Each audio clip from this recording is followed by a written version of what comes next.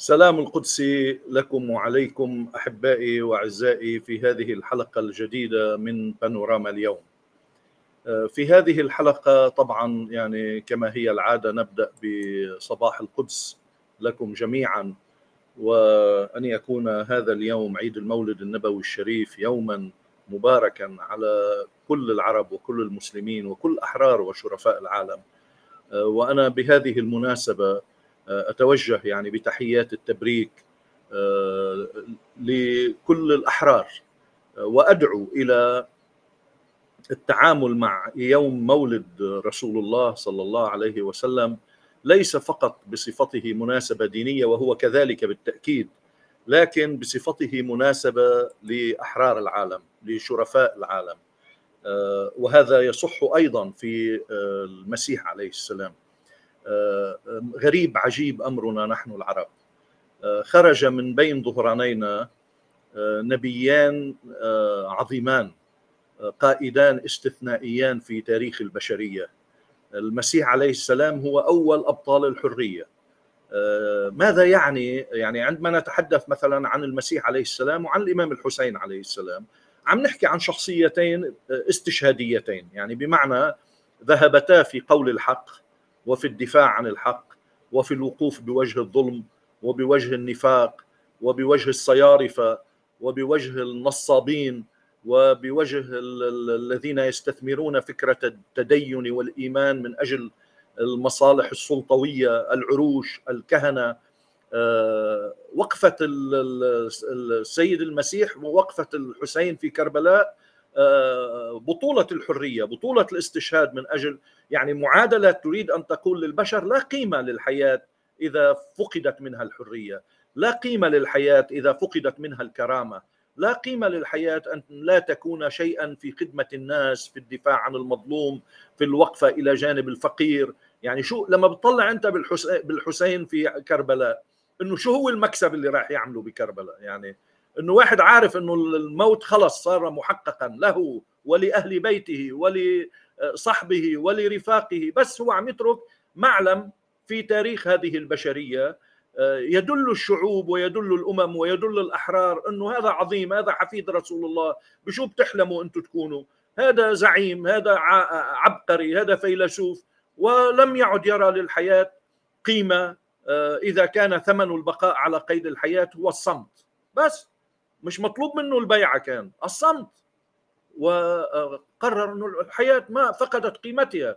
عم بحكي هلأ بالمفهوم العلمي الحسي المجرد مش بالمفهوم الإيماني الديني لأنه الذين يحتفلون بالمسيح دينيا والذين يحتفلون بالحسين دينيا ما بحاجة لاقناع يعني ما حدا ببشر مؤمنين. بس أنا عم أقول مثلا لغير المسيحيين انظروا إلى المسيح. لغير المتشيعين على مذهب الامام الحسين والإمام علي وأهل البيت. انظروا إلى هذه الوقفة يعني بنروح بنفتش ما أنا جيفاري وأنا يعني معجب بتشي جيفارا وأعتبره بطلا من أبطال البشرية والإنسانية. بس ما في ضمنا نوع من ال ال ال يعني هذا الاستشراق إنه نحن بنروح بنفتش عن النموذج الغربي ويثير إعجابنا. ولدينا بصراحة ما هو أعظم وما هو أهم. يعني جيفارا سيرته لا ترتقي إلى سيرة المسيح.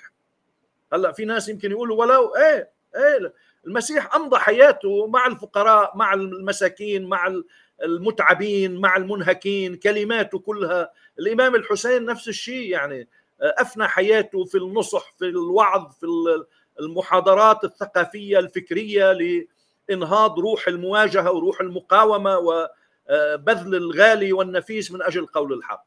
نجي هلا لليوم عيد المولد النبوي.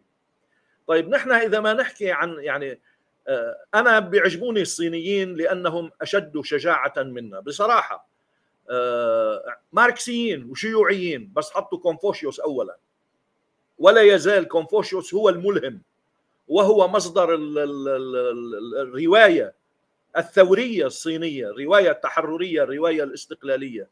طيب نحن كعرب إذا ما نجي نحكي كعرب يعني ثوار ومقاومين و وتغييريين ودعاة بناء دولة قائمة على العدالة قائمة على الشورى على تشاور بين الناس سميتوه ديمقراطية سميتوه آه، شو ما بدكم يعني أول تجربة في تاريخ البشرية لبناء دولة على معايير مكتوبة واضحة من النص القرآني إلى الأحاديث النبوية إلى السيرة النبوية نفسها. آه، مين لازم يرفع قيمتها؟ مين لازم يحملها ويدور فيها؟ كل دعاة التغيير. بمعزل عن مسلمين والله مش مسلمين. يعني آه، تخيلوا أنتم أنطونس عادي وميشيل عفلة اكتشفوا بالنبي محمد ميزات لا يتحدث عنها مسلمون من العلمانيين والقوميين. إنه إذا بتحكي حركة قومية عربية شو يعني حركة قومية عربية؟ يعني حركة سياسية لبناء دولة تجمع العرب تقول إنهم أمة تأخذ لسانهم بصفته تعبيرا عن مخزونهم الحضاري. روحوا اقروهم هول بأحاديث النبي واقروهم بالقرآن. شو يعني عم بيقول لك انا أنزلناه قرانا عربيا؟ يعني فبالتالي أنا أدعو آه، يعني آه، إلى آه، إحياء هذا اليوم يوم عيد المولد النبوي بصفته بصراحة هو يوم ولادة مؤسس القومية العربية، مؤسس الأمة العربية، مؤسس الدولة العربية، مؤسس حركة التحرر العربية. يعني حرام نحن هذا الميراث العظيم اللي عندنا معلبينه انه عيد المولد النبوي هاي مناسبة دينية مثل عيد الفطر مثل عيد الأضحى واقلها أقل بصراحة لأنه بالمجتمع وحتى بين الأشد تدينا يمكن اليمنيين يعلون من شأن هذا اليوم إلى المستوى الذي يستحق. وان بكل شيء اليمنيين بصراحة أشد نباهة وأشد فهما. آه، نحكي الأمور كما هي وأشد شجاعة فكرية. فعيد المولد النبوي هو عيد ولادة قائدنا ومؤسسنا وزعيمنا وملهمنا والمتقدم في صفوفنا. هيك هيك بصراحة. وهذه دعوة دعوة علمية علمية. والله العظيم ما عم ما عم بتفلسف بالدين. في من يتحدث بلغة الدين. أنا عم بتحدث بلغة السياسة. عم بتحدث بلغة الفكر السياسي.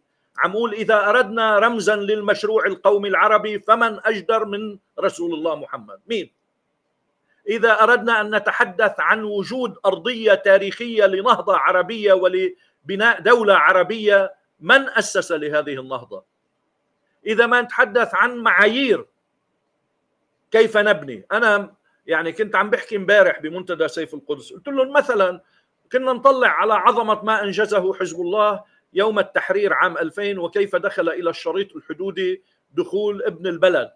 مش دخول الفاتح في منطقة يسيطر عليها العملاء. مش هيك عمل النبي محمد لما فتح مكة؟ يعني أنشأ في المدينة دولته. وخاض حروبا كان ولا أشرس ولا أشد ولا أقوى في الحروب. هيك لكنه عندما فتح مكة كان المتسامح كان الرحوم كان الباحث عن طمأنة الذين يشعرون بالقلق والذعر. نحن هيك ما نفوت على فلسطين كما دخل محمد إلى مكة. يعني نحن عندنا قواعد بكل وحدة من الأشياء. ما مر في تاريخ بين آه، بدء الدعوة الإسلامية وبين آه، وفاة الرسول عندنا ما يكفي من أولا القرآن. اللي بيقرأ القرآن والحكم التي يختزنها. أنا عم بحكي برجع بقول سياسي سياسي. الحكم التي يختزنها. لهلأ المي يعني الميزان اللي بيقدم لنا إياه القرآن في مقارنة القضايا والأحكام في التعامل معها إذا بتفوت فيها بعمق وبهدوء وباتزان وبعقل بارد بمعزل عن أنك آه، مسيحي مسلم آه، لا ديني رح تلاقي قدامك شيء عظيم شيء عظيم. منروح وقال كانط وقال ديكارت وقال أينشتاين وقال ماركس وقال لينين وأنا مع قراءتنا انتبهوا أنا قاريهم أرسطو أفلاطون كله عظيم. كله كله عظيم أصلا النبي قال اطلبوا العلم ولو في الصين يعني اللي كانت أبعد الأمصار عن ديار المسلمين. روحوا إذا إذا في علم بالصين روحوا على الصين حصلوا. أنا مش عم أقول نحصروا بالميراث الإسلامي بس عم أقول أعطوا هذا الميراث ميراث هذا الرسول العظيم. أنا بنقاشي حتى مع عدد من رجال الدين الشيعة آه، بقول لهم وأنا لا أخفي يعني انتمائي إلى هذا المذهب وافتخاري بهذا الميراث اللي تركوه الأئمة وأهل البيت وانتسابي لهم كواحد يعني من الذين يعني يحملون لقب السيد. بس آه، أنا بقول لهم إنه أنا أخجل عندما أرى أننا نحتفل بمناسبات التشيع بصورة أقوى من احتفالنا بمناسبة آه، ميلاد آه، رسول الله. هذا مخجل. هم صفة أهل البيت جاءت من أنهم أهل بيت رسول الله. فلذلك أنا أردت أن أفتتح اليوم لأنه هاي المناسبة مش فقط لعايد لا أدعي إلى هيك يعني تأمل فكري هادئ في عظمة هذا الرجل و آه، يعني الدين الذي ندين له له به في مسيرتنا في نهضتنا في مكانتنا. عندما نتباهى بتاريخنا كعرب نحن بشو بنتباهى؟ كنا شو أيمتى كنا؟ بالجاهلية كنا؟ شو كنا بالجاهلية؟ عبدة أصنام وقصايد شعر. هيك كنا بالجاهلية. وغزوات تقتل بعض القبائل. ايمتى صرنا أمة حضارية تحمل للبشرية عناوين القيم الإنسانية الجديدة. مع النبي محمد. وما بعده. ولو الغزوات التي قامت في ما بعد احترمت المعايير الإسلامية صدقوني يمكن العالم كله صار إسلام. لأنه بمرحلة من المراحل فلت الملأ وصارت يعني غزوات للنهب وللقتل والاستباحه ويفتحوا البلاد لسبعة أيام ليفعلوا ما يشاء فيها ويأخذوا ما يشاء منها ويسبوا نساء وجواري وإلى آخره من على طريق داعش يعني. هذا النموذج الداعشي الذي ساد ما بعد مرحلة الخلفاء الراشدين هو اللي أسقط الدولة آه، ابن آه، آه، مالك بن نبي بكتابه على شروط النهضة بيحكي على هالموضوع بيقول إنه بعد الخلفاء الراشدين انحدر الإسلام ما ما عمل حضارة. مرحلة النهضة العقلية التي ظهرت هي من ثمار المرحلة التأسيسية الأولى. يعني العلوم تاعت ابن الهيثم وابن سينا والخوارزمي صحيح ظهرت في العصور الأموية والعباسية بشكل خاص لكن لم يكن عندها قمة الحضارة لأنه هو بيرسم بيرسم منحنى للحضارة ومنحنى صحيح. إذا أقمناه هلأ على الحالة الأمريكية على أي حالة بال... أي إمبراطورية صعدت المرحلة الأولى اللي هي مرحلة ما يسميها بالمرحلة الثورية التي يأتي فيها أهل الفطرة الذين يبذلون التضحيات العظام من أجل تحقيق الإنجاز. تم الإنجاز وبنيت الدولة القوية.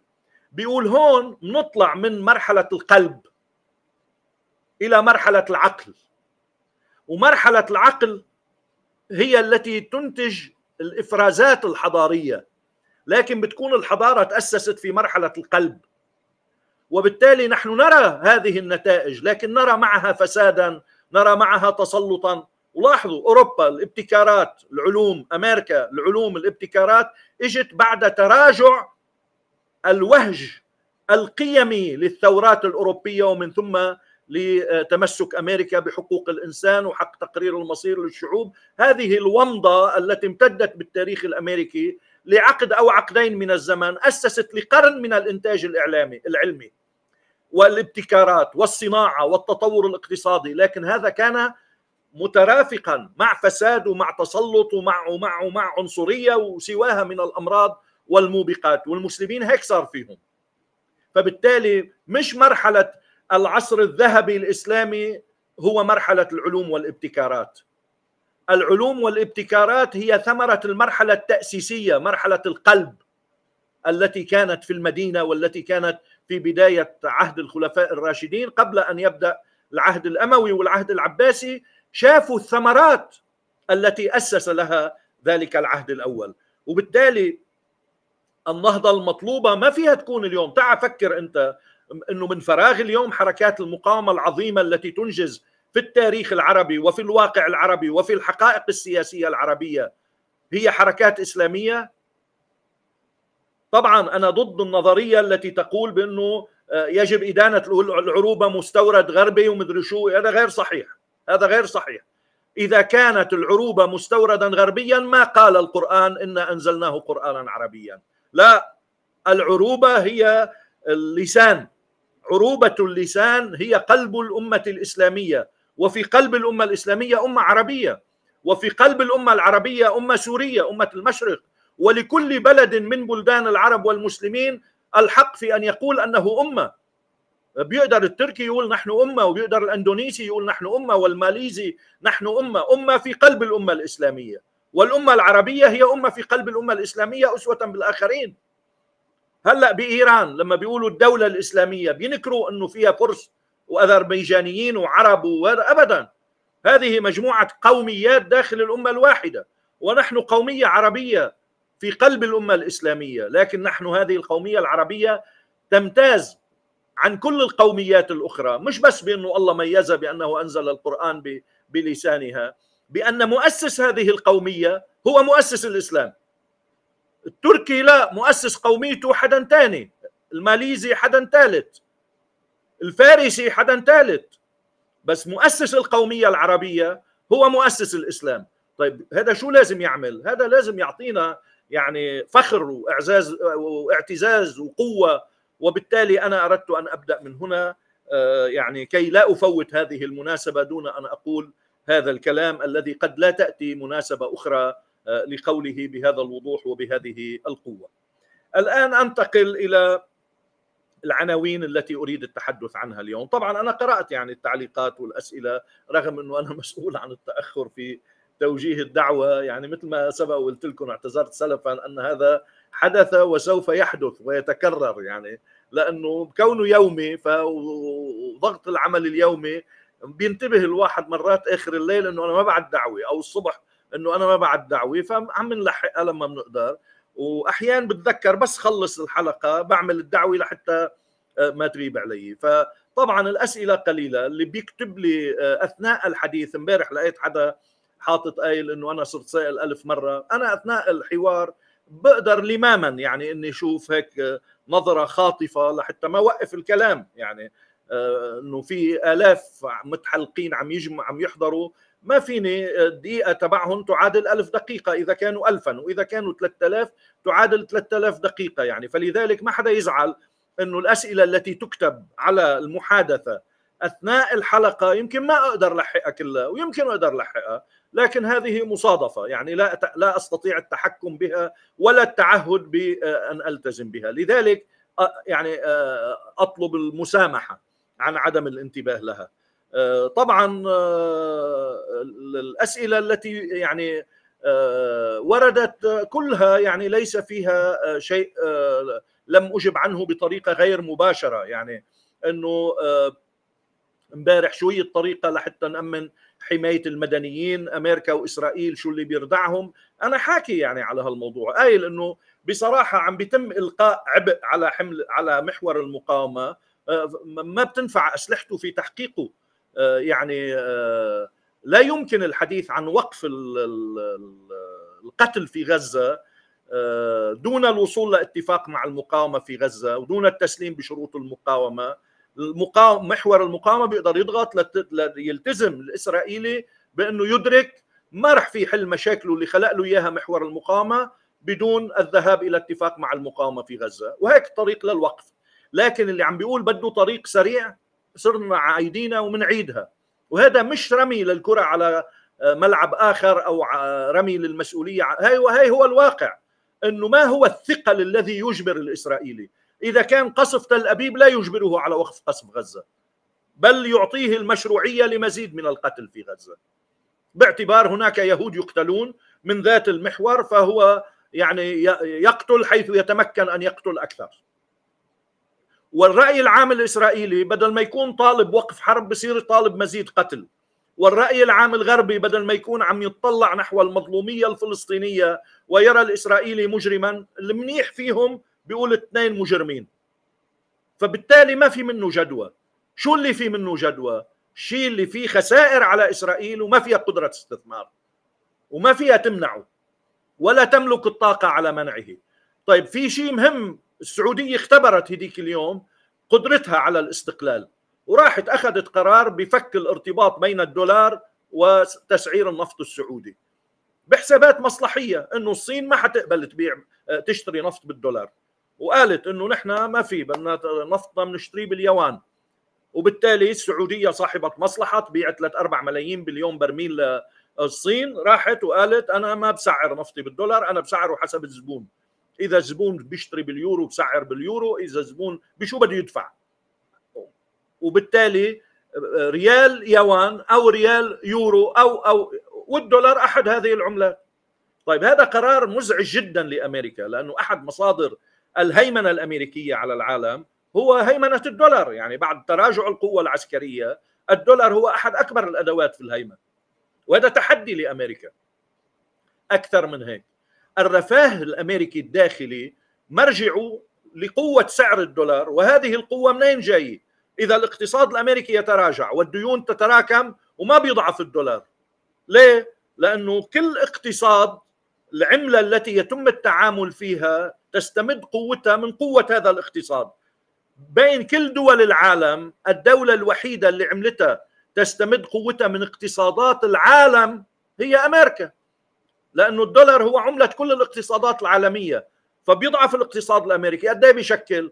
هلأ 13% من اقتصاد العالم. بيأثر بسعر الدولار 13% وإذا الاقتصاد الصيني تحسن وحجمه 18% آه، أو 20% من اقتصاد العالم معناتها في تحسن بوضع الدولار 20% ناتج من الاقتصاد الصيني و13% نزول من الاقتصاد الأمريكي بقي ربحان 7% لما الصين تبطل تتعامل دولار ببلش ينصاب الدولار لأنه بصير شيئا فشيئا يعتمد على ببطل قادر يستفيد من هال 20% تحسن.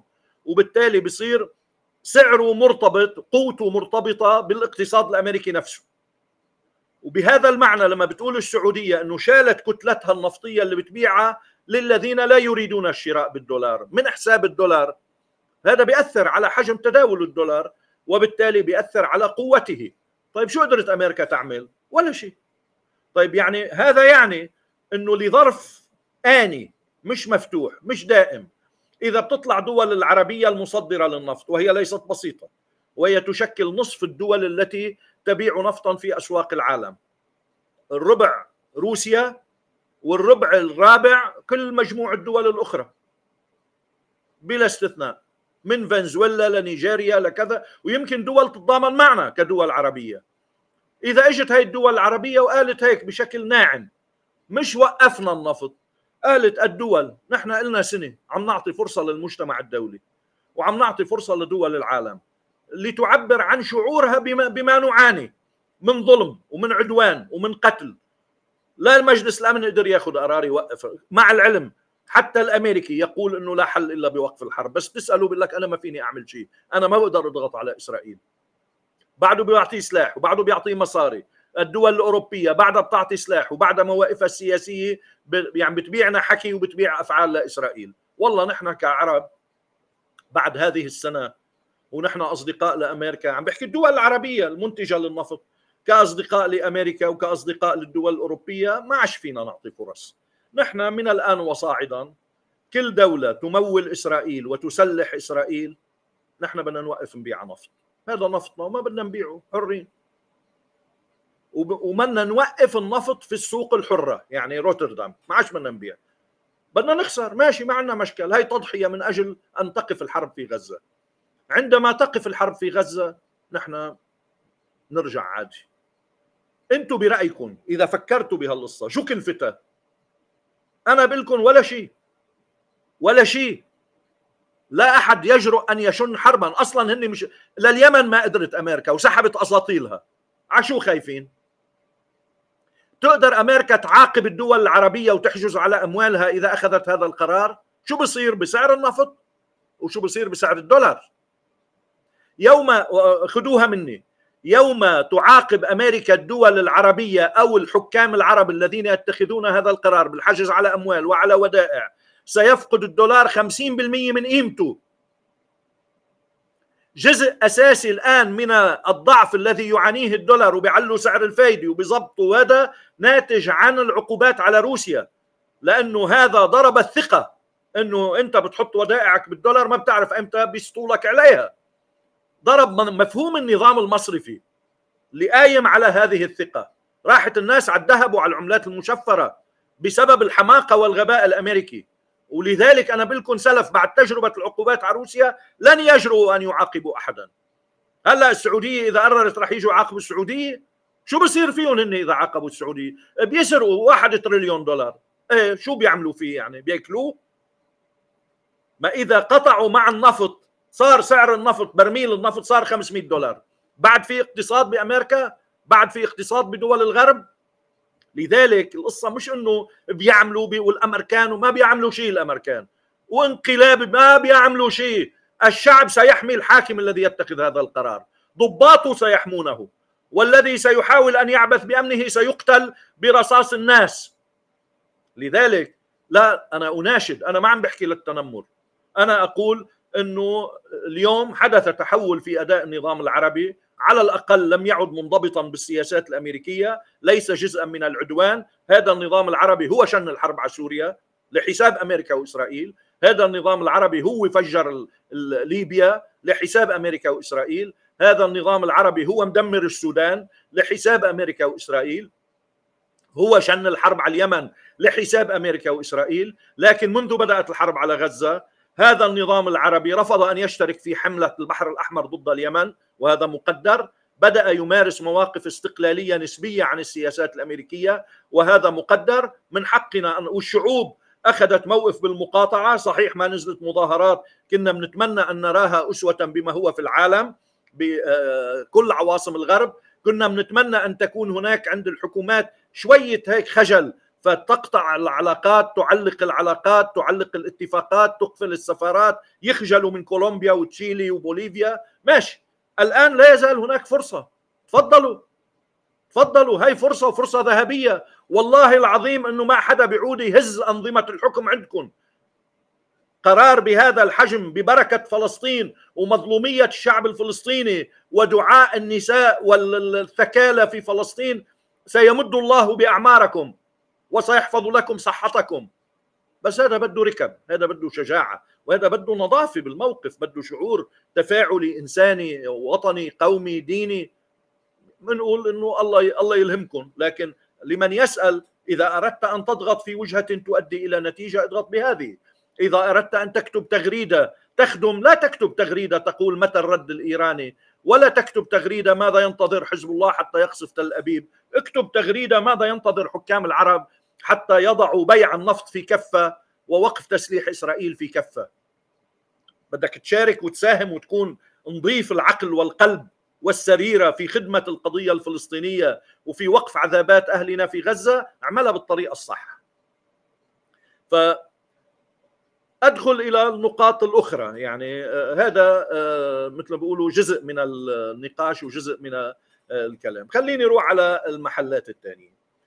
آه، نحن يعني تقديري أنا إنه قطعنا المرحلة التي يطرح فيها السؤال حول هل هناك حرب كبرى أم لا. آه، حدث في هالأربع خمسة أيام الأخيرة مجموعة من التطورات تستحق أن نقرأها. برأيي خلص نحن رايحين على اتفاق. هلأ نتنياهو بده يحاول يحسن شروط الاتفاق بادعاء إنه رايح على الحرب. ليجي الأمريكاني لأنه هلأ مقرر يروح على أمريكا أيضا. هو ما رايح على أمريكا هلأ لأنه ناقصه سلاح للحرب. راح على أمريكا لما عمل التفاهم الأول بتموز لاخذ فيه المعلومات الاستخبارية والتنسيق الاستخباري من أجل اغتيال آه، القائد فؤاد شكر والتفويض والضوء الأخضر لاغتيال قائد حركة حماس الشهيد إسماعيل هنيه. كانت هاي الخطة الأمريكية الإسرائيلية.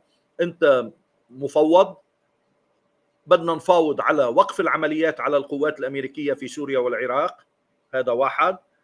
ونفاوض على شروط أفضل لاتفاق غزة. تعمل العمليات. بنحاول نحن نتلاعب بمصير حماس. من سيأتي إلى آه، الموقع الأول محل إسماعيل هنية يسهل علينا الضغط التفاوضي. نكون قادرين نمسك عليه نضغط عليه أولاده بيته إقامته الدول التي آه، تموله. وبالمقابل نستخدم الدعوة للتفاوض لنميع الرد الإيراني ورد حزب الله إنه الناس بغزة عم تقتل وفي فرصة لوصول اتفاق شو رايحين تعملوا أنتم تخربوا الاتفاق؟ ستنبذكم الناس. يعني ونستخدم المدخل الفلسطيني في الضغط عليهم. نص الإحباط تم باختيار يحيى السنوار وموقف حماس اللي رفض هذه اللعبة وقال العرض الأمريكي إسرائيلي وما في شيء جدي بالمفاوضات ونحن لن نتنازل ولن نغير في شروطنا وفي مواقفنا. وانتخاب يحيى السنوار جاء بقائد لا يمكن الضغط عليه. مش بس لأنه هو بذاته قيمة آه، من الشجاعة والبطولة أيضا لأنه ما حدا قادر يمسك ظرفه. يعني مين اللي قادر يقول له إنه نحرمك من الإقامة السنوية؟ ما بنجدد لك يعني. إنه فيهم يعملوها مع اللي قاعد بالدوحة أو اللي قاعد بالقاهرة أو اللي قاعد وين ما كان. بس ما فيهم يعملوها مع يحيى السنوار. قاعد بالأنفاق. دولة الأنفاق هي التي تجدد له الفيزا. دولة المقاومة يعني. طيب ما قادرين يقولوا له اولادك بالجامعة ما قادرين يقولوا له حياتك الإسرائيليين بيجوا بيقتلوك هون إلى آخره. فيعني كان ذكاء استراتيجيا أحبط نصف المشروع والنصف الثاني أحبط بالرد. رد حزب الله وامبارح الرد اليمني واللي بعد ما اكتمل. وحتى رد حزب الله ما أعلن حزب الله إنه نحن اكتفينا يعني. والرد الإيراني الآتي. طيب شو بتعمل إسرائيل؟ هلأ بيتفلسف نتنياهو إنه لن يمر دون عقبه أوكي تطلع بتقصف الحديدة ترجع تنضرب تل أبيب. سيسأل الناس إنه الحديدة اللي صار لها عم تنقصف من 2015 وتل أبيب اللي سكانها المليونين ونص معودين إنه هن مربى الدلال. إنه هن العاصمة الآمنة التي لا تطلق فيها طلقة رصاص مش صواريخ مش شظايا. طيب امبارح آه، أربع خمس منشآت لحقتها شظايا. ومع الرعب والذعر على المليونين ونص على دائرة 30 40 كيلومتر وصلت الأصوات والانفجارات. طيب صاروخ ثاني وثالث وكل أربع خمس أيام صاروخ وكل جمعة صاروخ. شو شو بصير بال يعني بوضع الداخل الإسرائيلي؟ تفتح مدارس تفتح جامعات بتفتح بنوك تفتح مؤسسات. الهستدروت عمل إضراب يوم رمزي. بيروح على الإضراب المفتوح حتى وقف الحرب. النص مليون بصيروا مليونين بالشوارع.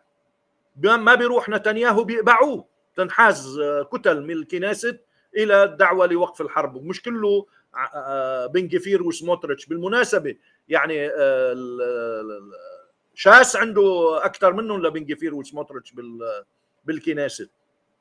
وبالتالي تتفكك الأغلبية التي تؤمن وهي أغلبية هشة يعني أربع أصوات زيادة.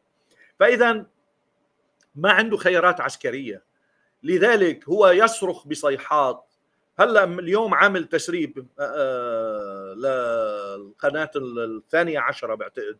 كان عم ينقل عنا وليد العمري قبل شوي قبل ما فوت على بانوراما إنه نتنياهو لا يريد حرب. هيك.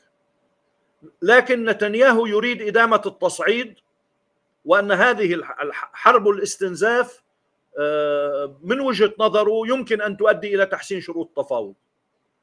أنا رأيي بضيف على هالكلام إنه هي حرب الاستنزاف ما بتأمن له شيء اللي بيأمن له شيء واحد. التهديد بالحرب يجي الأمريكي يضغط ليقول طيب أنتم عم تطلبوا مننا يا عرب ويا فلسطينيين أن نضغط على نتنياهو. طيب أعطونا شيء تنازل من هالاتفاق.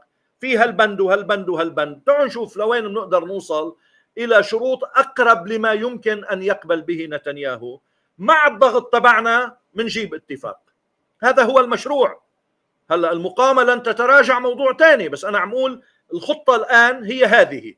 الرهان على جولة 30 آه، تموز 25 آب يعني ما قبل رد حزب الله هو ال 25 يوم من اغتيال فؤاد شكر ثم اغتيال إسماعيل هنية رحمهما الله قائدين كبيرين طبعا إلى 25 آب ضرب 8200 ورد حزب الله. ال 25 يوم استهلك فيهم الرهان على هذه الخطة التي كشفها بوتين عندما قال إن جولة تصعيد قادمة أمام الرئيس بشار الأسد إذا تتذكروا في القمة التي عقدت ب 25 تموز. يعني يوم كان نتنياهو يستعد لإلقاء كلمته أمام الكونغرس.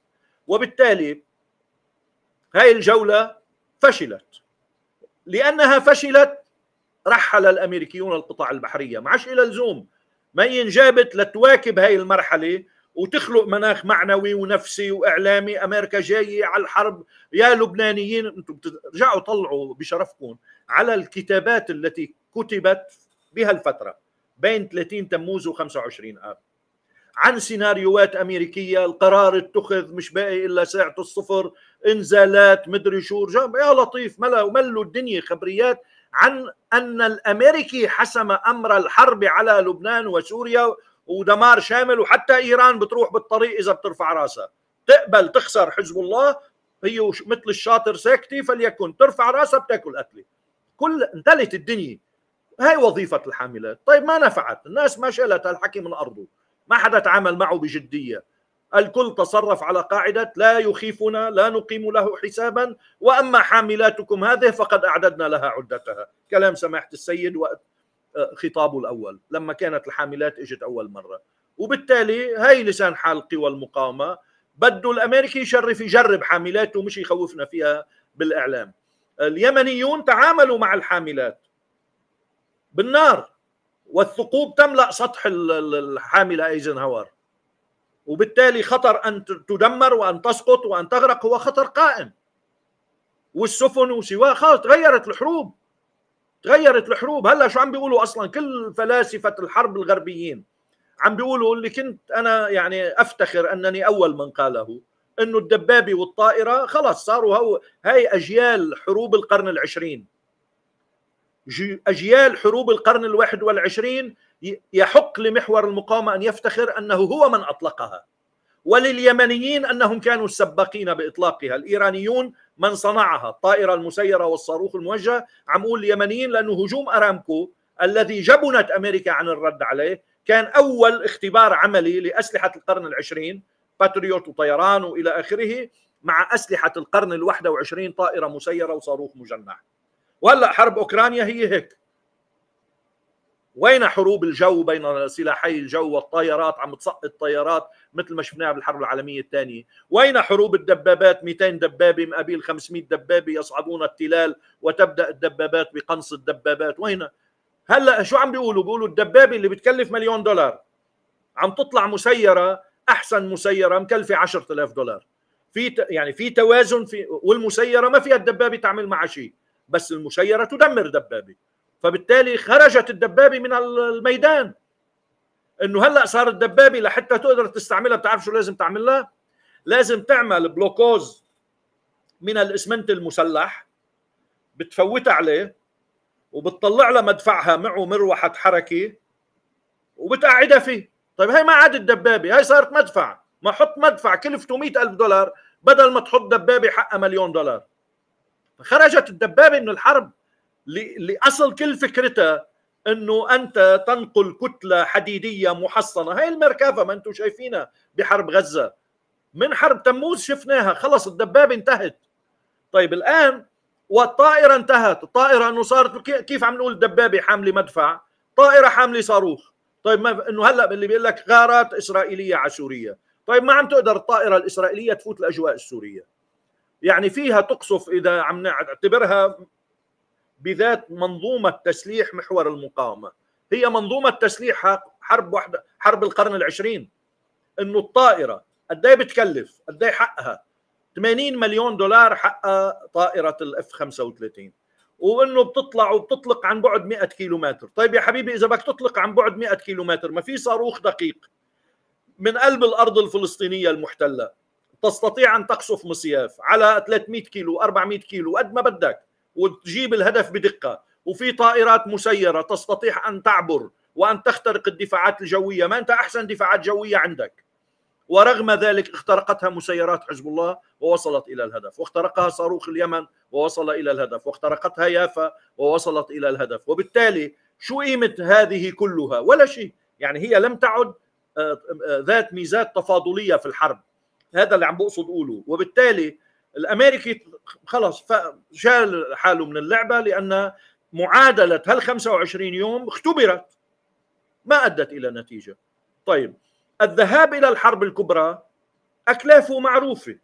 إنه بيقدر الأمريكي والإسرائيلي يدمروا. ما حدا عم ينكر عليهم. وبيقدروا يقتلوا. ما حدا عم ينكر عليهم. يمكن يعملوا حرب يروح فيها مليون شهيد. ما حدا عم بيقول لا. بس عم بيقول اللي بي بتقول له بيروح مليون بين بيروت ودمشق وبغداد وطهران بيقول لك نحن بثورة الجزائر لحررنا الجزائر دفعنا مليون ونص مليون شهيد. بس مقابل هالمليون شهيد في مليون قتيل يهودي يعني بقلب فلسطين المحتلة إسرائيل إذا قتل منها مليون بتبقى موجودة؟ طيب إذا أنت دمرت 20% من بيروت و20% من الشام و20% من بغداد و20% من طهران. اجمع لي إياهم ما بيطلعوا كل إسرائيل؟ يعني إنه هاو بدا إذا بده يتدمر قدهم. بيبقى شيء من إسرائيل؟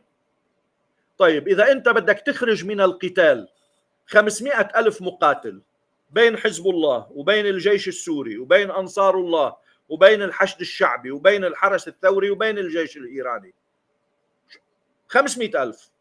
بين شهيد وجريح وأسير واللي بدك إياه طيب إذا أخرجت 500 ألف من الجيش الإسرائيلي بيبقى جيش إسرائيلي؟ فإذا إذا ذهبوا إلى الحرب الكبرى من الآخر خلي نحكي ما بقى في إسرائيل. لذلك الأمريكي ما له مصلحة يروح على الحرب الكبرى والإسرائيلي ما له مصلحة يروح على الحرب الكبرى. الآن لم يعد ثمة هوامش خلص وحتى بالداخل الإسرائيلي ما بقى عنده أجوبة نتنياهو. ما بقى قادر يقول للناس بنعمل وبنسوي وبنعمل وبنسوي ما في شيء يعمله ويسويه. بالقوة أنت عاجز عن أن تتقدم خطوة. في فيك تصرخ لتقول له للأمريكاني عجل ابعث لي مندوب نقول نظرا للمداخلة الأمريكية نحن ما بدنا نخسر علاقتنا بأمريكا سنتابع التشاور مع أمريكا ولن نخطو خطوة تؤدي إلى فك العلاقة لكن لازلنا على قناعتنا بأننا لن نسكت لن نتساكن مع هذا الوضع السيء. على حزب الله أن يفهم على اليمنيين أن يفهموا. شوي تاني جمعة إنه رايح على أمريكا لنعمل مشاورات. وبيطلع بالآخر اتفقنا مع أمريكا على مسودة اتفاق على قاعدة إما أن تقبلها حماس أو ترفضها وساعتها فلتكن الحرب. وبتطلع إنه حماس قبلتها. وبيطلع إنه هو إيه قال أنا فيلادلفيا إذا بحطوا فيها أجهزة تقنية بتحقق اللي أنا بدي إياه بطلع منها. أو نت سريم إذا في آه، ضمانات من الدول العربية الراعية للاتفاق بأنه ما بتطلع حماس سلاح على شمال غزة أنا باخذ ضماناتها بعين الاعتبار. يعني وبصراحة من سيحاسب نتنياهو إذا قبل الاتفاق؟ النص اللي بده الاتفاق ما راح يحاسبه والنص اللي ما بده الاتفاق يعني بن جفير وسموتريتش أصلا سيصبحون خارج الحكومة. وراح تنضم له الشرائح المؤيدة. كل كتلة المعارضة راح تصير هي آه، مع شاس مع الليكود راح يصير معه 80 نايب بدل ما معه هلا أكثر 90 نايب يمكن. وبالتالي راح تصير حكومته أقوى. وإذا قرر لا راح يتركوا 10 نواب ويصير معه 54 ويصير في مقابيله 70 وبالتالي معادلة الفك والتركيب طالما أن الحرب بلا أفق أنت شو أنه اليوم لما بدك تسأل جمهور حزب الله عندما يسأل حزب الله لماذا سنستمر بالقتال؟ بده عم بيجاوبوا من أجل أن نجبر نتنياهو على الذهاب إلى اتفاق في غزة. كيف نجبره يا سماحة السيد؟ بأن نبقي ونطيل أمد المهجرين ما يقدروا يرجعوا ونضعه أمام تحدي العجز عن إعادتهم العجز عن فتح المدارس ونزيد عددهم. شكرا يا سيدي نعم طيب نتنياهو. لماذا علينا أن نستمر بالحرب يا حضرة رئيس الحكومة؟ من أجل أن نبعد حزب الله إلى جنوب الليطاني آه، إلى شمال الليطاني طيب هاي الطريقة اللي عم تقاتل فيها ما بتبعده إلى شمال الليطاني آه، من أجل أن نضغط عليه كي يقبل بال... طيب ما قبل ما راح يقبل. من أجل أن نقول للأمريكي طيب ما رد عليه للامريكي بدك تفوت؟ فوت هلأ. ليش قاعد صالبنا ونحن مهجرين؟ نحن هينا بتل أبيب قاعدين. خلي الجيش هلا يفوت يخلص بجنوب لبنان. ما بدك تعمل حرب. روح اعمل اتفاق وخلصها وخلينا نرجع. طيب شو بدك تعمل بالبحر الأحمر؟ من رجال الاقتصاد والأعمال والهذا متى سفننا ستعبر البحر الأحمر يا حضرة رئيس الحكومة؟ ما عنده جواب. بالقوة يعني بالجيوش الأمريكية ما هي فلت. لو كانت فالحة بقيت. طيب بالضربات الإسرائيلية تضرب الحديدة عم يضربوا لك تل أبيب. قلنا أعطينا الوصفة شو هي. طيب بالمقابل قضية الاسرى كيف بدك تحلها بالقوة؟ كل ما فت عنفق عم عم تجيب لنا جثث منه. طيب في طريق واحد بخلص هالثلاثة الاسرى والبحر الأحمر وهذا هو تذهب إلى اتفاق. مبادلة اسرى انسحاب من كامل غزة وقف نهائي للحرب. وهذا صار له شعبية شعبية بالرأي العام الإسرائيلي. والأمريكي والأوروبي ما بقى في غيره بيعمل حل. ولذلك قوى المقاومة شعوبها عم بتشوف إنه الوضع يميل لصالح طرحها بينما الرأي العام الإسرائيلي عم بيشوف إنه الوضع آه، يزداد سوءا دون أمل دون أفق لاستخدام القوة. لذلك تتعاظم التظاهرات لذلك يزداد ضغط المؤسسة العسكرية والأمنية إنه 40 50 من كبار الضباط رؤساء أركان سابقين ورؤساء موساد ورؤساء شباك ورؤساء فرق ورؤساء آه، مراكز دراسات عسكرية كل هول يوقعوا عريضة أوقف الحرب وتبادل أسرى وانسحاب كامل من غزة. هذا يعني تحول ضخم ببنيه الاحتلال. وبالتالي بهذا المعنى آه، الظروف تنضج لصالح عجز آه، الكيان عن المضي قدما في الحرب. هلا قد إيه بتاخذ أيام اسابيع؟ بس أكيد مش شهور. ولذلك أنا أنا شخصيا بقول إنه قد تستمر حتى الانتخابات الأمريكية بس مش معناتها لأنه آه، يعني آه، في شيء حيحدث مع الانتخابات الأمريكية. يمكن لأنه الأمريكي ما راح ياخذ يعني ما راح يستثمر على الوضع الداخلي بإسرائيل قبل الانتخابات. بس أنا برجح إنه ذكرى آه، الطوفان يعني سنة على الطوفان تضغط داخل إسرائيل وداخل أمريكا ويمكن يكون في محاولة لإنجاز شيء قبل أن تحل السنة الأولى على الطوفان. والوضع الداخلي الإسرائيلي مساعد وضع الجبهات المساندة للمقاومة آه، قوي ومتين. آه، هلا هذا مش الرد اليمني اللي صار هذه ضربة وهذه الضربة آه، آلت شيء تقني كالذي قالته المسيرات. رح أقول هالمعادلة وأختم فيها. قيمة مسيرات حزب الله عظيمة بالإنجاز طبعا. 22 قتيل وإذا بيناتهم قائد الوحدة بيكون أعظم وأعظم وضباطها الكبار 74 جريح آه، الإصابة الدقيقة كلها إنجازات. لكن يبقى الإنجاز الأهم هو المقلق لتل أبيب هو المقلق للعقل العسكري والسياسي الإسرائيلي والأمريكي. وهو التالي أنه صبيحة ذلك اليوم تلقت إسرائيل إشارات تبين لاحقا أن حزب الله تقصدها. بحركة نصف مكشوفة في مناطق معينة لنصب منصات صواريخ وحركة مقاتلين.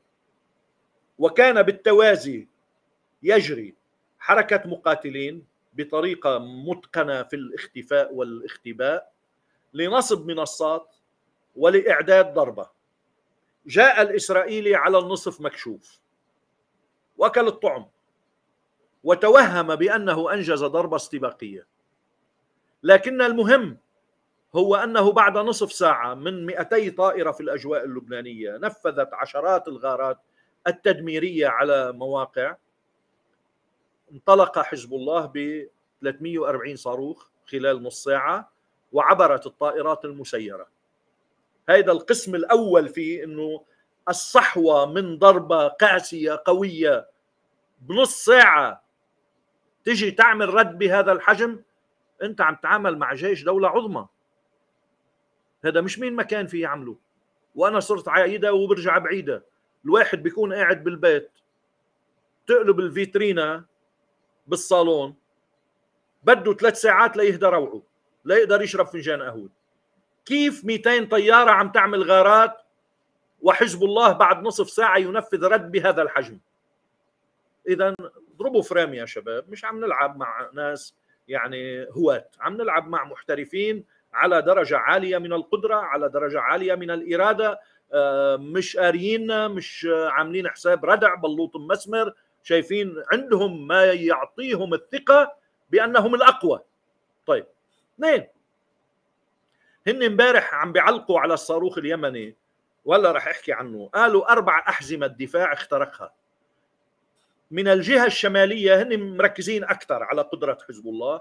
بيقولوا الخبراء العسكريين الإسرائيليين إنه في سبع أحزمة دفاع جوي اخترقتها المسيرات. عندما تخترقها المسيرات يعني وامبارح التجربة أكدت هالشيء إنه الصاروخ الفرد صوتي الدقيق أكيد بيخترق.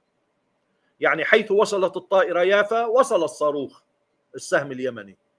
وبالتالي نحن أمام معادلة اذا أن أمن تل أبيب بات مكشوفا وأن حزب الله يملك الإرادة على أن يقصف تل أبيب أن يستهدف تل أبيب ويملك القدرة ولديه التقنية التي يمكن أن يكررها في أي وقت.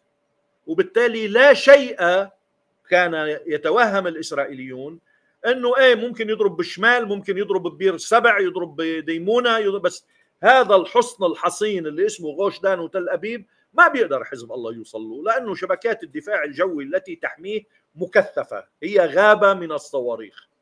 تبين إنه ما بتقدر تقطع الطريق عليه وبالتالي يجب إعادة الحساب. وهون إعادة الحساب ما ممكن تلافي النتائج والتداعيات بتعديل تقني بيتم ب 24 ساعة. إعادة الحساب يعني بدك تزيد الشبكات الدفاع الجوي تضاعفها مرتين وثلاث مرات وهذا بده استثمار مالي وبده زمن بده على القليل سنتين ثلاثة أخذت القبة الحديدية لعملوا لها أول تجربة تمرينية بعد 2006 2010 وبالتالي اذا المضي بالحرب إلى اللحظة التي تتساقط فيها الصواريخ والطائرات المسيرة على المؤسسات المدنية والخدمية لأن إسرائيل الحرب بالنسبة له أنه سيستهدف المطار والميناء والكهرباء والهذا فكانت هذه هي التجربة. هل سيستطيع حزب الله أن يقصف تل أبيب إذا قصفنا الضاحية؟ جاء الجواب نعم.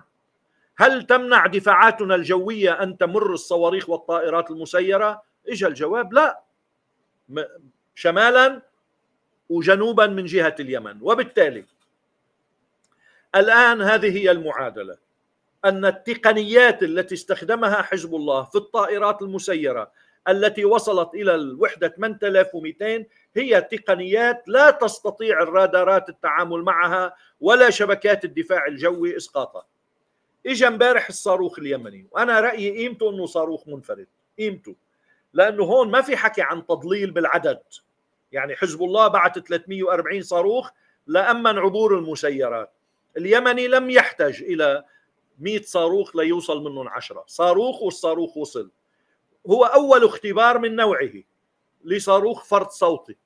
والفرد صوتي هو مش اللي أسرع من الصوت وبس. ممكن يكون أسرع من الصوت ولا يسمى فرد صوتي. شو الفرق؟ الفرق إنه آه، آه، الأسرع من الصوت إلى حد خمس مرات سرعة الصوت. يعني سرعته خمس مرات قد سرعة الصوت بصير الصفة تبعه سرعة خمسة ماخ يعني سرعة الصوت تسمى بالماخ خمسة ماخ. خمسة ماخ وما فوق هو الفرد الصوتي. ما تحت الخمسة ماخ يعني إذا ثلاث مرات سرعة الصوت ما اسمه فرد صوتي. إذا مرتين سرعة الصوت ما اسمه فرد صوتي. أربعة ما اسمه فرد صوتي. خمسة نعم اسمه فرد صوتي وكل ما زاد بصير أهم. الصاروخ اليمني الذي وصل بالأمس بين 8 و10 مرات 8 و10 ماخ. يعني إذا أخذنا الحساب اللي بيقول وصل ب 11 دقيقة ونصف. قطع فيهم 2040 آه، كيلو متر بيطلع معنا إنه 12 ماخ سرعته. وإذا قلنا 15 دقيقة بيطلع 8 ماخ. ناخذ 8 ماخ فوق الخمسة هو فرد صوتي. شو هو الفرد صوتي؟ ليش الخمسة ماخ؟ لأنه من هذه السرعة بالتحديد يتمكن الصاروخ وهو يغادر مرح يعني منطقة ما فوق الغلاف الجوي. ما هو بيطلع هذا الباليستي إلى ما فوق الغلاف الجوي وبيرجع بينزل. حسب ما أنت وين عاطيه المدى بيعمل منحنى قوسي من نقطة الإطلاق إلى نقطة الوصول. لما بده ينزل بقلب الغلاف الجوي بهاللحظة اللي بيصطدم فيها بالغلاف الجوي بسبب السرعة العالية اللي فوق الخمسة ماخ هذا عم نحكي بالمراقبة. يعني شو تفسيرها ليش بالخمسة ماخ مش أقل ما بعرف. لكن بالمراقبة الحسية كل الصواريخ التي تبلغ سرعتها ما فوق الخمسة ماخ امتازت بأنها عندما تصطدم بالغلاف الجوي تبدأ بتشكيل هيولة حول الصاروخ. هي كناية عن طبقة آه، مؤينة. يعني فيها إيونات فيها إلكترونات وبروتونات مشعة. بتعمل مثل غلاف آه، سائل آه، يسمى البلازما. فبصير وكل ما له ماشي الصاروخ بتكبر هالبلازما وتزداد سرعة الصاروخ في اتجاهه نحو الهدف. هذه يعني بصير مثل إذا الصاروخ طوله 8 امتار بصير مبين طوله تقريبا 20 متر قبل الوصول. والقطر تبعه إذا آه، متر و10 سم مثلا عم نحكي عن الصاروخ اليمني اللي أطلق امبارح بصير مبين 10 أمتار. فبصير عندك مثل كتلة من الغيم المشحون بالطاقة الكهربائية آه، لا تلتقطه الرادارات بصفته صاروخا.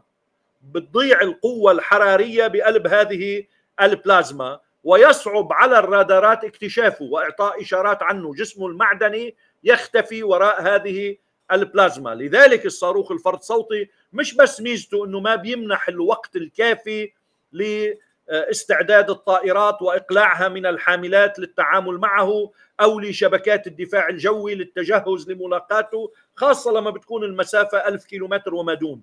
لأنه بيكون بده وقت قد النص تقريبا فبصير خمس دقائق وست دقائق وقت غير كافي للاستعداد للملاقات.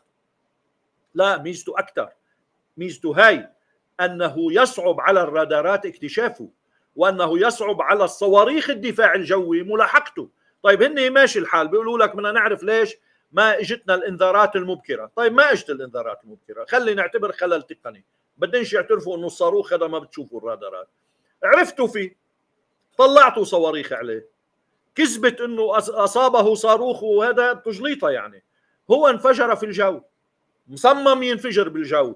ليعمل دائرة إشعاع للشظايا أوسع وليعمل إقلاق ورعب وذعر على مدى أوسع. هذا الصاروخ مصمم لينفجر بالجو ويصيب أهدافا متعددة. طيب الإسرائيلي ما قدر يصيبه. عم بيقولوا ضربوا 30 صاروخ عليه. ما صابوه.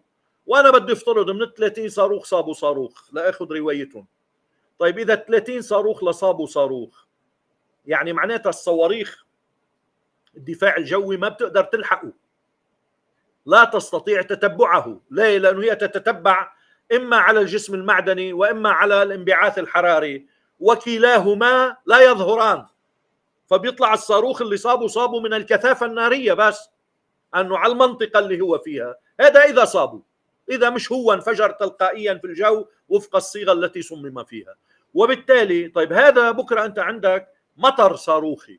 يعني عندما تتساقط الصواريخ وتهطل كالامطار ما الذي ستفعله القبة الحديدية؟ صفر. فاذا في تطور تقني يدركه الأمريكي والإسرائيلي الآن يقول ليس بمستطاعنا تأمين الحماية لتل أبيب. بتروح على حرب بهالحاله؟ لا ما بتروح على حرب. وبتعرف أن الفناء قادم في الحرب. أنك ستؤلم نعم لكنك ستتألم أكثر بكثير. الألم عند غيرك هو جرح.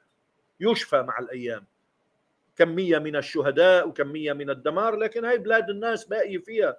وما يخسرونه هو جزء غالي وعزيز لكنه جزء من هذه الكثافة البشرية التي تقتل بسبب وبلا سبب. حاطين نص مليون بحرب سوريا ونص مليون آه، بحروب السودان واليمن وليبيا. هول المليون لو حاطينهم بفلسطين خلصنا. وبالتالي بهذا المعنى إذا أنا ما أصل إليه كاستنتاج قرار صرف النظر عن الحرب اتخذ بين الأمريكي والإسرائيلي ويبقى البحث عن الإخراج الذي يحفظ للكيان ما أمكن من ماء الوجه ويضغط على المقاومة بكل الوسائل المتاحة للوصول إلى أفضل شروط لصالح إسرائيل في صيغة الاتفاق. لذلك قوى المقاومة متنبهة ومتمسكة بثوابتها ولن تتنازل عنها حتى تأتي باتفاق يليق بتضحيات الشهداء. سلام القدس لكم وعليكم أحبائي وأعزائي وإلى اللقاء في حلقة الغد. أه سأوجه الدعوة الآن واللي ما أخذ يعني جواب على ما كان يجول في خاطره من سؤال وكتبه يعيد كتابته بقرأ قبل الحلقة بكرة وان شاء الله بيكون يعني مخصصها للأجوبة على أسئلتكم عندي فقط في الختام آه، واحدة من الميزات التي يعني أرسلت لي من آه، المنصة التي الآن أستخدمها اللي هي ريستريم إنه هناك إمكانية لأستضيف اثنين أو ثلاثة أو أربعة أو خمسة آه، صورة وصوت. فأنا أدعو الأصدقاء الراغبين يعني بأن يكونوا من المستدعيين يعني من المشاركين. بعطيهم دقيقة يطرح سؤاله صوتا وصورة. آه، مرة بالجلسة لكل واحد. فإذا عندنا خمسة يعني معناتها عم ناخذ خمس دقائق لخمس أسئلة ونجيب عليها. وبيكونوا عم بتبعوا معي ما يكتب على المحادثة مشان يجمعوا مش لهن يطرحوا آرائهم.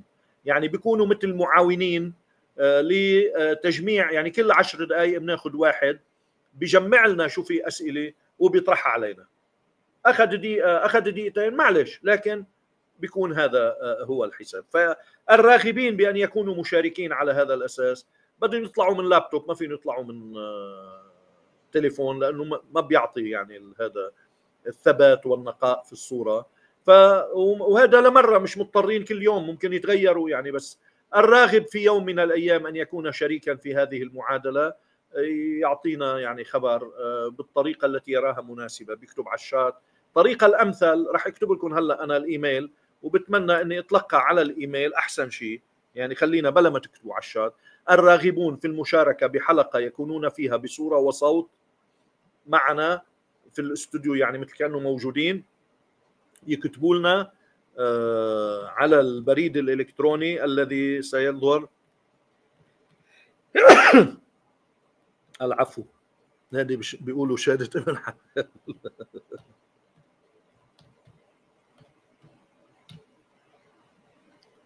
نعم. هذا الإيميل الآن راح أطلعه أنا. نعم هذا الإيميل. الراغبين فيهم يعني آه، يقومون بنسخه آه، وبعتقد إنه آه، بهذه الطريقة يعني بيكون في إمكانية ل أن يعني يكتبوا وأنا أستقبل وإن شاء الله نحاول يعني بنعمل تجربة عليها وبنشوف شو النتيجة شو بتقلنا بركي إن شاء الله بتكون منيحة وكويسة. وطبعا بيني وبينهم في كادر بيطلع اسمه private chat يعني أنا ببعث لهم link لحتى يفوتوا. بس بيطلع برايفت شات بصير عندنا مجال إنه آه، نقدر نتحادث سوا آه، أثناء الحلقة. وبالتالي آه، هذه طريقة يعني ممتازة و يعني أنا متفائل إنه يعني فينا نشتغل فيها وتكون مفيدة. سلام القدس لكم وعليكم مرة جديدة وإلى اللقاء في حلقة الغد إن شاء الله.